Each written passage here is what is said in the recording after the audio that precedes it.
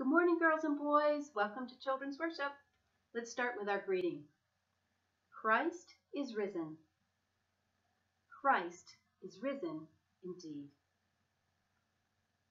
I thought that this morning we would start with the first few questions of the First Catechism. Do you have a First Catechism at home? You might have one that looks like this, or you might have one that looks like this. The First Catechism is a tool that's used. It's based on the Bible. It's a series of questions and answers, and it just helps us to understand what the Bible teaches us. So I thought that I would just go through the first few questions before we sing our song. And actually, the song we're going to sing is in response to these first few questions. So let's go through them together. Question number one Who made you? God. That was an easy one. I bet you knew that one already. Number two, what else did God make? God made all things. Number three, why did God make you and all things? The answer, for his own glory. Do you know the sign language for glory is this? So why did God make you and all things? For his own glory. Number four, how can you glorify God? The answer, by loving him and doing what he commands. Number five, why are you to glorify God? The answer, because he made me and takes care of me. Number six, are there more gods than one? No, there is only one true God. Number seven, how many persons is this one true God? The answer, three. Can you name them? God the Father, God the Son, and God the Holy Spirit. All right, we're going to stop there and we're going to sing Father, I Adore You. And it's in response to these questions, right? Because how do we glorify God? By loving Him. Let's sing out of the love that we have for God. Right? And who are we singing to? We're singing to one God and three persons, right? Our Father, God the Father, God the Son, we know is Jesus, and God the Holy Spirit. Let's sing together. Father, I adore you. Lay my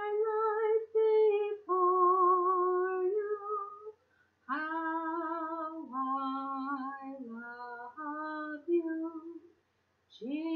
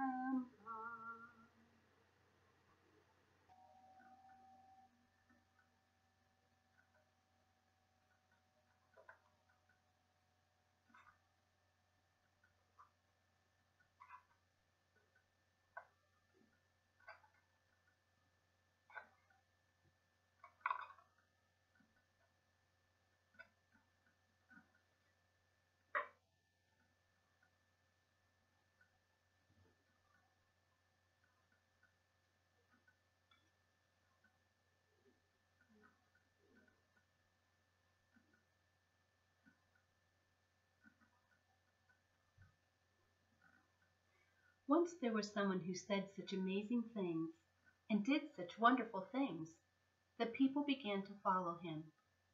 But they didn't know who he was. So one day they simply had to ask him, and he said, I am the Good Shepherd. I know each of my sheep by name.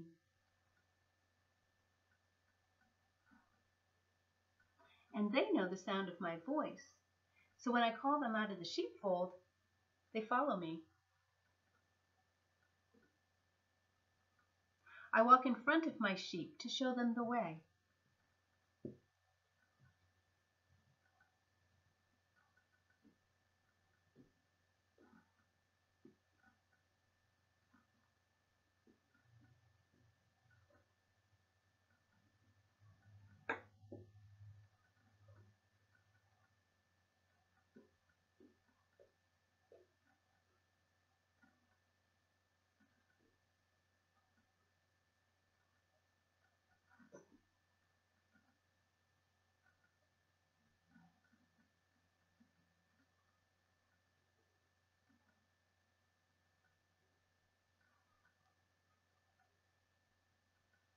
I show them the way to the good green grass.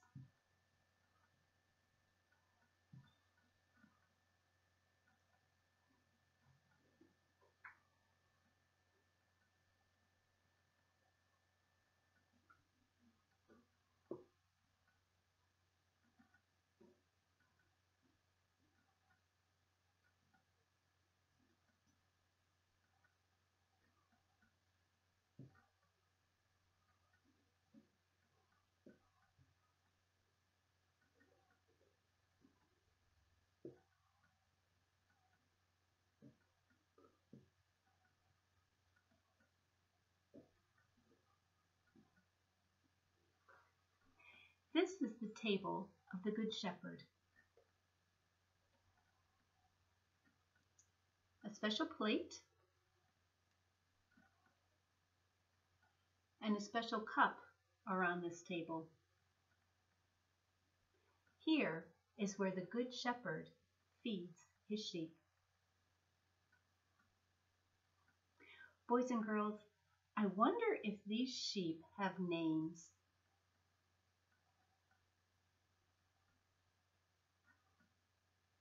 I wonder if the sheep are happy to be at this great feast. I wonder if you have ever been close to this table. I wonder if you've ever felt the Good Shepherd there with you. I wonder if you have ever heard the very words of the Good Shepherd.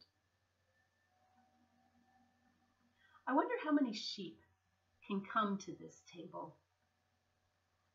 And I wonder where they come from. I wonder where this whole place might really be. All right, boys and girls, I'm going to pick up our materials so that we'll know where they are and we'll be able to use them next week when we add to this story. Boys and girls, one thing that I miss about you not actually being in the children's worship room uh, each week is that we haven't been able to do much by the way of uh, response time. So normally you have response time after the story to do something to respond to the story, right? Whether you work with the materials or draw a picture or work, um, or read a book or, or whatever. Um, so today what I was thinking that we could do is you could find some paper and maybe a, a green crayon and a brown crayon and some children's scissors. And what we're going to do is we're going to make two green circles. And you can trace something around or you can just draw a circle uh, on your paper. Paper, and it doesn't have to be a perfect circle. Mine's not a perfect circle here. And then color it in uh, green.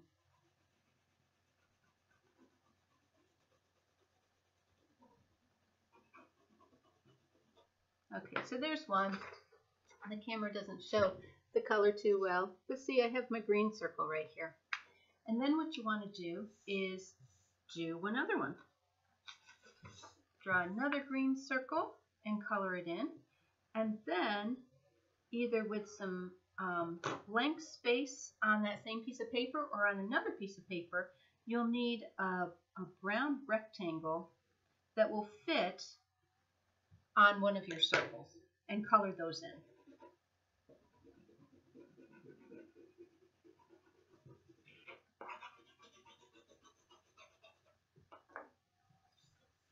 Okay, so here I have my other green circle and my brown rectangle. The next thing to do is to cut them out. So you can, you can, if you're allowed to use the scissors, you can do it, or you can ask um, somebody else in your house to help you cut out your rectangle and your circles. So now, now I have uh, my two green circles and my brown rectangle, and I can put them together like we had in the story. Put the table here, and this side you can find something to make a fence with if you want, or just imagine that uh, for the sheepfold. Now what I did, I took some Legos. You have Legos at home?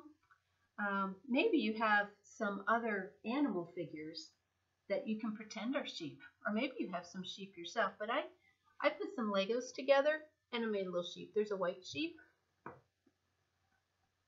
and here's a multicolored sheep, red and brown. And then this one is all brown. So I made some sheep. And we need a good shepherd, so maybe you have a figure that you could pretend is the good shepherd. Or you could make a good shepherd person out of out of Legos. And if you want to, I took a, a piece of post-it note and I put a face, a smiling face of the good shepherd on mine. So here I made uh, the good shepherd and some sheep. And I have the, uh, the table of the good shepherd on this side. Now, so we need the special plate. I found this Lego piece, kind of just a flat piece. Maybe you have something, a Legos or something else that could be a plate with some special bread. And I even put some, some special Legos together to make the cup. just pretend that it, it looks like a cup. So now you can do the story of how the Good Shepherd led the sheep out of the sheepfold around to the table of the Good Shepherd, just like we had in our story today. You could tell the story to um, some stuffed animals, or maybe to your mom or dad or someone else in your family. Or maybe you just want to tell the story again back to God and, and thanks for Him showing it to you today.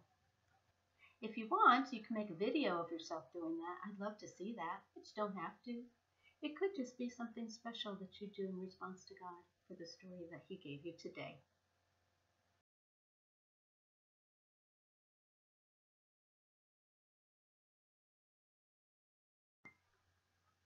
Okay, girls and boys, it's time for us to light our Christ candle. We light the Christ candle because it reminds us that Christ is with us as we read our Bible.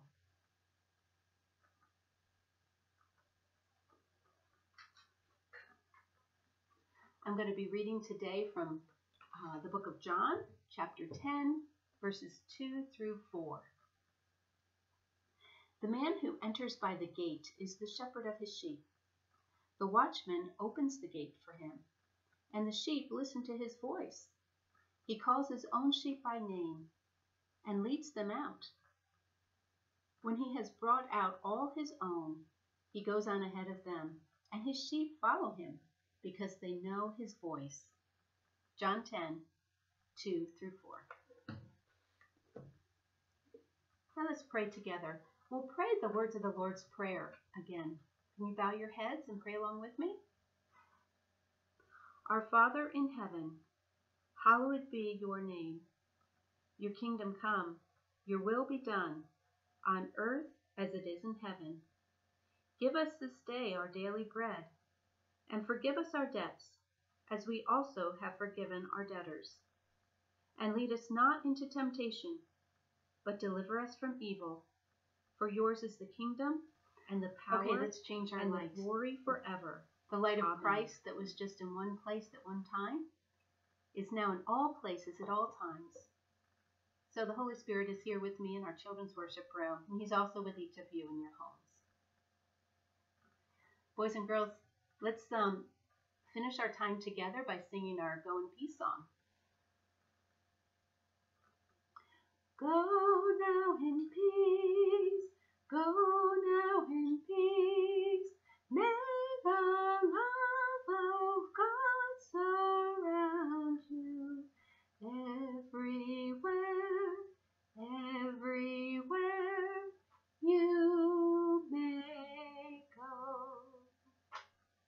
Remember, Jesus loves you very much. Go in peace.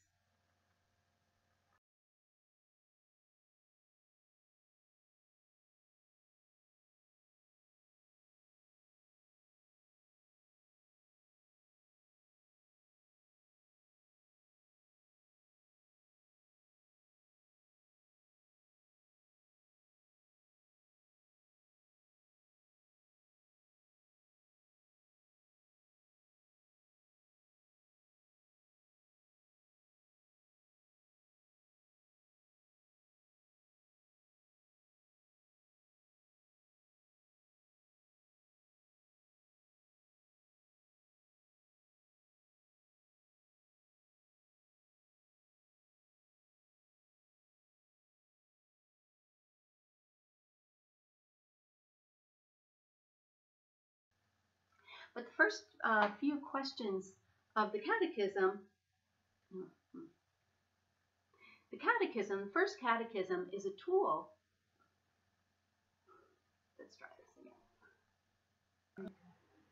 Now to get ready for our story, let's sing our traditional, our regular, our every week song, Be Still and Know That I Am God. Use the sign language with me, okay? Let's sing together.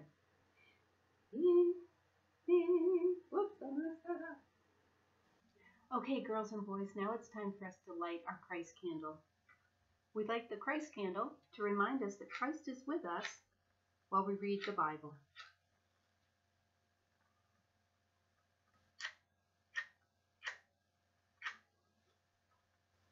All right, now it's time for us to change our light. The light of Christ that was just in one place at one time is now in all places at all times. So he's here in our churches in our church's